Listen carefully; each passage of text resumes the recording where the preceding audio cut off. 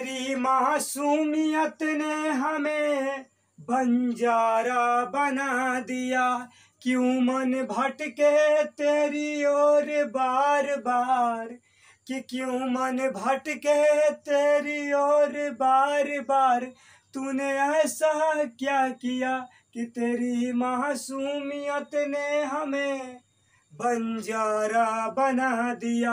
Hello friends मैं सोनू कुमार, स्वागत है आप सभी का हमारे यूट्यूब चैनल में। तो दोस्तों, आज हम बात करेंगे कि बोर्ड परीक्षा 2023 का न्यू पैटर्न तो चलिए ज़्यादा देर न करते हुए इसे एक एक करके समझने की कोशिश करते हैं। फ्रेंड्स यहाँ पे लिखा गया है कि बोर्ड परीक्षा 2023 का न्यू पैटर्न आज ही जान लो। यदि आपका बोर्ड परीक्षा 2023 में होने वाला है तो हमारे द्वारा समझाए गए इस न्यू पैटर्न को समझ ले, वरना फेल हो सकते हैं। ठीक है? तो चलिए इसे एक एक करके समझने की कोशिश करते हैं। फ्रेंड्स, यहाँ पे लिखा गया है कि आपके परीक्षा 500 मार्क्स के होते हैं। ये तो आप लोग भी जानते होंगे कि जो आपके एग्ज़ाम है, यदि आप टेंथ का स्टूडेंट हो या ट्वेल्थ का स्टूडेंट हो, आपका जो एग्ज़ाम होगा, वो 500 मार्क्स के होंगे। ये तो जान गए। चलिए नेक्स्ट पॉइंट को देखते हैं। यहाँ पे लिखा गया है जिसमें पाँच विषय होते हैं।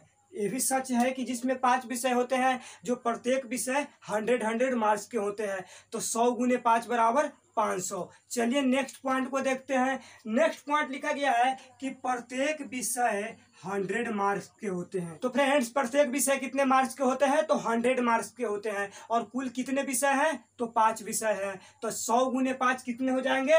तो पाँच सौ हो जाएँगे। कितने हो जाएँगे? तो पाँच सौ हो जाएँगे। तो आपके जो बोर्ड एग्ज़ाम होने वाले हैं, कितने मार्क्स के होंगे? तो फाइव हंड्रेड मार्क्स के होंगे। तो फ्रेंड्स, मैं उम्मीद करता हूँ कि आप लोग समझ गए होंगे। अब चलिए नेक्स्ट पॉइंट को समझने की कोशिश करते हैं। यहाँ पर लिखा गया है कि एक विषय का पैटर्न जानते हैं। अब चलिए फ्रेंड्स, कि एक जो विषय है उसका पैटर्न जानने की कोशिश करते हैं। तो फ्रेंड्स यहाँ पे लिखा गया है कि कुल मार्क्स हंड्रेड होंगे। अर्थात यदि आपका हिंदी है तो हंड्रेड मार्क्स के होंगे। इंग्लिश है तो हंड्रेड मार्क्स के होंगे। अब चलिए इसे भी समझने की कोशिश करते हैं।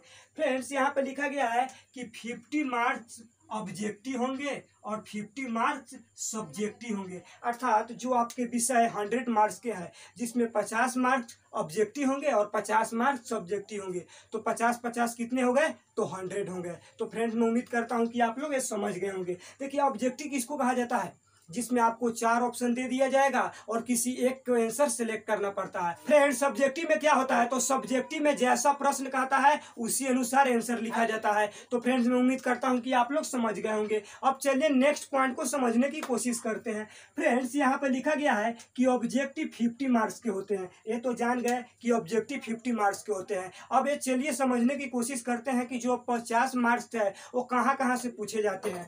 तो फ्रेंड्स यहाँ पर लिखा गया है कि ऑब्जेक्ट ऑब्जेक्टिव साठ पूछे जाएँगे, जिसमें पचास का उत्तर देना होता है। फ्रेंड्स आपके बोर्ड में साठ ऑब्जेक्टिव रहेंगे, जिसमें आपको पचास का उत्तर देना है, जो प्रत्येक एक एक मार्क्स के होंगे। तो लिखा हुआ है एक गुने पचास तो कुल कितने हो गए? तो पचास मार्क्स के हो गए।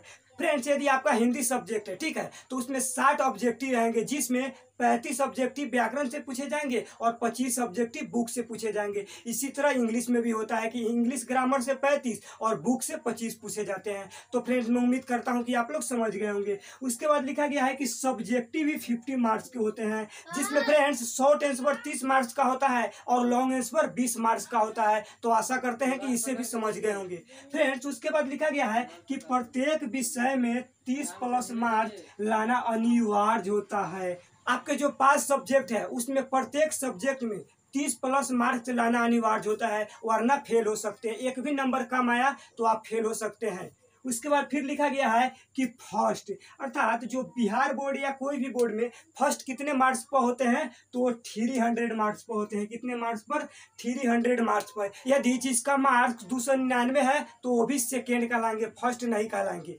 फिर उसके बाद लिखा गया है कि सेकेंड कितने मार्क्स पर कहलाएँगे? तो फ्रेंड्स, यहाँ पर लिखा गया है कि दो सौ पच्चीस मार्क्स। यदि आपका मार्क्स दो सौ पच्चीस से लेकर दो सौ निन्यानवे के बीच में है तो आप सेकेंड के श्रेणी में आएँगे। फ्रेंड्स, उसके बाद लिखा गया है थर्ड। तो थर्ड कितने मार्क्स पर होते हैं? तो 150 मार्क्स पर होते हैं।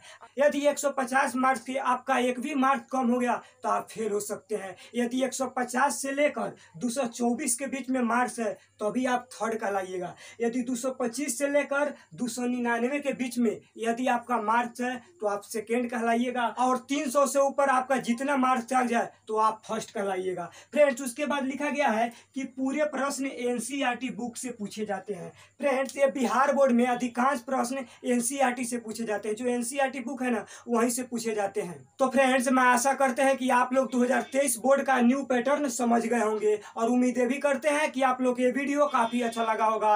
यदि वीडियो अच्छा लगा है तो चैनल को सब्सक्राइब करके बेल आइकन को दबाना ना भूले। तब तक के लिए जय हिंद।